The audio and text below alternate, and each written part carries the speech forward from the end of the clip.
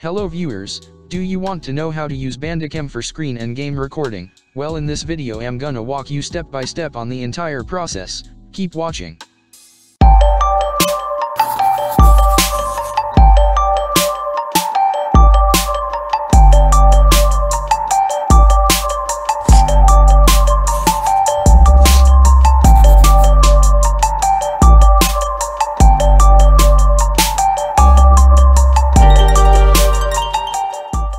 Hey viewers, Dike Wisdom here with Know Forever, where we help you maximize your learning capacity with animation and videos. On this channel we make a lot of computer-based tutorials, like this one. So if you don't want to miss out on any of our future videos start now by clicking the red subscribe button down there. Also turn on the bell notification to get notified anytime I upload a video. Now let's dive in straight into the video. Like I said earlier, I'm gonna walk you through the entire process on how to use Bandicam for screen recording and game recording, and at the end of this video I'm gonna show you the best settings to get HD clear recording using Bandicam. With that said let's dive right in. So this is Bandicam right here, and this is the registered version. In this region we have the time display, which is the hour, minutes and seconds. Here is your disk space it shows you how much space is left for you to record, and as you record you will see it that it starts to count and it tells you how many megabytes or gigabytes you are using as you are recording. Up here is just a key to register Bandicam, so if you haven't registered Bandicam well I have a video for you in the cards, it will show you how to register Bandicam for free, you can check it out later on. Now onto the main interface right here. As you can see, this is called the game recording mode, it records games and video players using DirectX, so if you are recording games just click on this one right here. However if you want to record your desktop screen and web videos, use this one right here. Next we have the output folder, now if you click this it will take you to the output folder, where all your recordings are saved. Now as you are recording you can take a screenshot here, to start recording you just press record right here, and when you are in the middle of recording you can just pause your recording right here.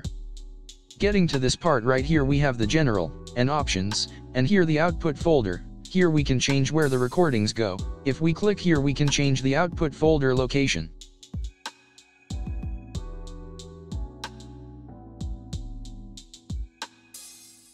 And below that you can see Bandicam window always on top, if this is checked, Bandicam will show at the top of your videos. Below you will see start Bandicam on minimized tray, if this is checked, Bandicam with start on a minimized tray. And here run Bandicam on Windows Startup, so if this is checked, Bandicam will start as soon as you turn on your computer.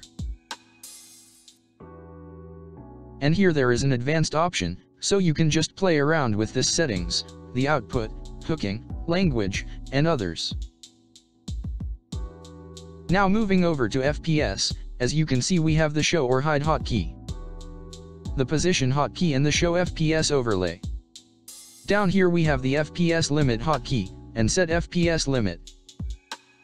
Now over to video we have the record or stop hotkey which you can use to actually start or stop recording. Down here we have the pause hotkey, the show mouse cursor, the add click to mouse, and add webcam overlay. Now you can click on settings and also you can mess around with this. Click here if you want it to record any sound. Now on webcam you can add webcam to video, while recording, and here you can select the show mouse cursor, the add click effects, and add mouse highlight, and also mouse click sound. Now here you can add a logo overlay, if you want to, also you can add a text right here, then in options you can set your recording priority to what you like.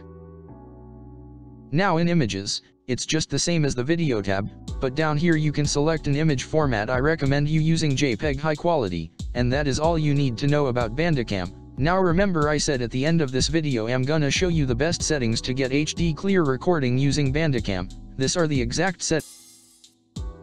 First head over to video, then under format click on settings, under file type select MP4, under size select full size, under FPS choose 60, in codec use H264, in quality use 100, with all this settings you will get clear HD video, so now I have a question for you. Do you like using Bandicam for game recording or screen recording? Either way let me know down in the comments, right now.